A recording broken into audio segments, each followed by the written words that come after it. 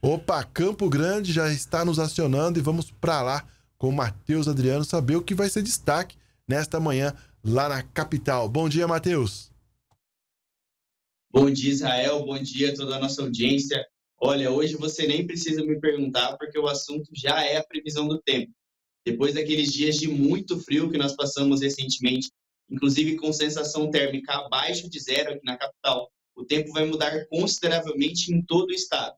E a tendência para os próximos meses é de tempo seco e recorde de calor. Quem afirma isso é o meteorologista da Uniderp, Natálio Abrão. Ele esteve aqui no estúdio do jornal CBN Campo Grande e deu um panorama do que nós podemos esperar do tempo.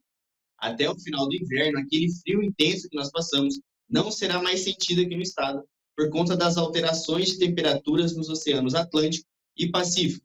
Isso acaba influenciando o tempo em todo o planeta. Segundo o Natálio Abrão, o bloqueio atmosférico, fenômeno que atua na região central do país, está ganhando força de forma potencial e deve barrar a entrada das maiores frentes frias aqui na região.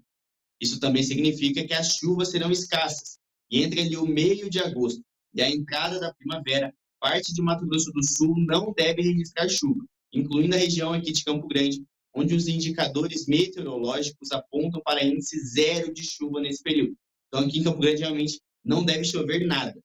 O meteorologista também destacou que, diante dessas condições climáticas, as ondas de calor serão intensificadas em Mato Grosso do Sul, assim como os longos períodos de baixa umidade relativa do ar. A tendência é que esse segundo semestre de 2024 seja ainda mais quente do que o segundo semestre do ano passado, quando a gente teve aquelas ondas de calor históricas, recordes, e comente, então esse ano deve ser ainda pior. Para hoje, aqui na capital, o dia amanhece friozinho, fresquinho. Agora está fazendo 16 graus, a sensação térmica é de 11. Então está um clima ameno, está fresquinho, mas ao longo do dia já esquenta bastante. E a máxima é de 31 graus, Israel.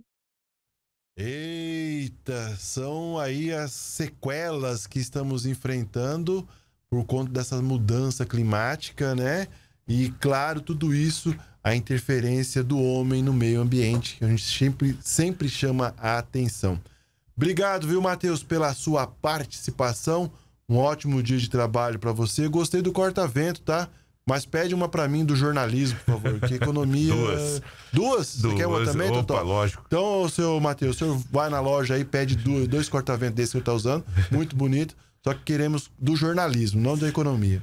Muito bem, tá aí. Pode deixar que eu vou providenciar, Israel. Lá da capital.